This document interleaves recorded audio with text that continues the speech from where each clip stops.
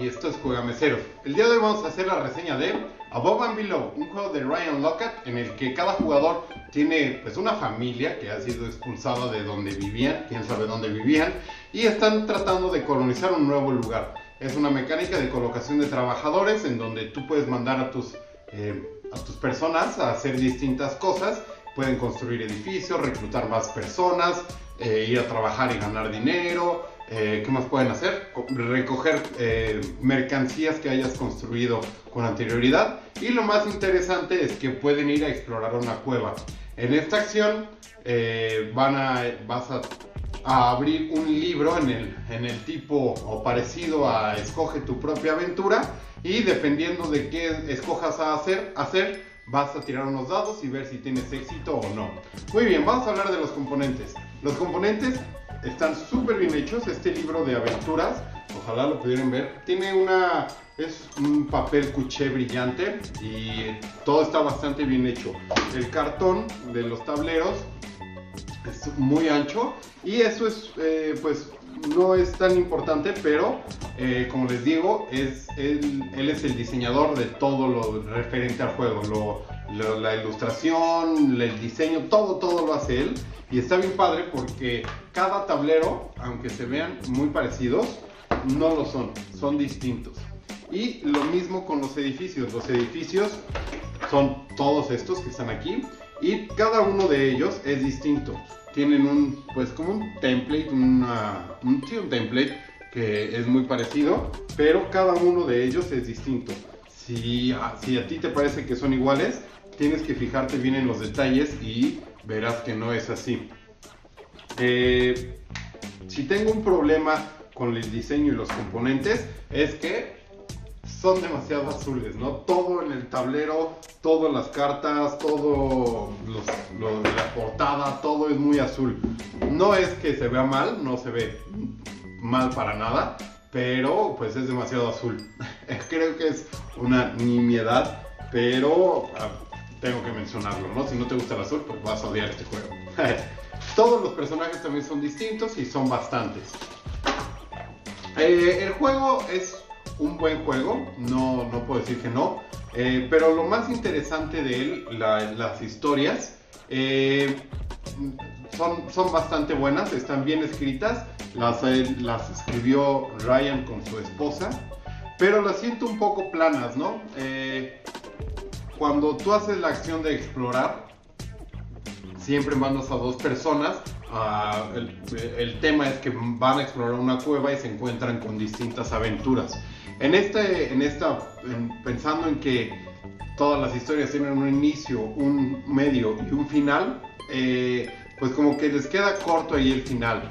Siempre, por ejemplo, eh, vas a, no sé, vas a ver a una viejita, te encuentras, a ver, vas a explorar una cueva, te encuentras una viejita ciega que tiene un bastón y eh, le robas el bastón. No hay, no hay un desenlace satisfactorio, a mi parecer, al menos, que te diga qué pasó, sino simplemente obtienes la recompensa, avanzas o retrocedes en el, en el marcador de, ¿cómo se llama? De, ah, ¿cómo se llama? de buenas acciones, no me acuerdo cómo se llama, de reputación. Eh, y pues es muy obvio que lo que tienes que hacer, bueno, al menos en todas las que he jugado. Son 187 historias y lo he jugado, no, son más, son 200, 215 historias. Y lo he jugado alrededor de 5 veces y ya hay algunas que se repiten. Esto no es de sorprenderse porque a cada persona, supongamos que exploran dos veces por, por partida, eh, son, son 10, 10 exploraciones en, partida. Se puede jugar de 5. Entonces son menos, son 4 jugadores, 2 exploraciones por partida, 8 eh, exploraciones en, en, total por la mesa. Y si lo multiplicas por eh, las veces que lo he jugado, son 40 exploraciones. Entonces, pues hay algunas que ya, ya escuché. No es que me las aprenda, no sé qué es lo que pasa en cada, en cada situación, pero eh, creo que lo que le hace falta es concretar el desenlace de las historias y agregar, eh, creo que con esto lo puede hacer perfectamente, simplemente una expansión con más historias. Eso estaría increíble. El juego es bueno, el juego se juega bien, puedes no ir a explorar en ninguna vez de tu, en ningún turno, puedes eh, evitar completamente la fase de exploración y aún así yo creo que te vas a divertir. Eh, se juega muy bien de 2, 3 y 4, no tienes ningún problema y es un euro eh, ligero, es un euro ligero, no, tiene, no tienes muchas decisiones, no tienes que alimentar a tus trabajadores y demás. Entonces, pues está bien.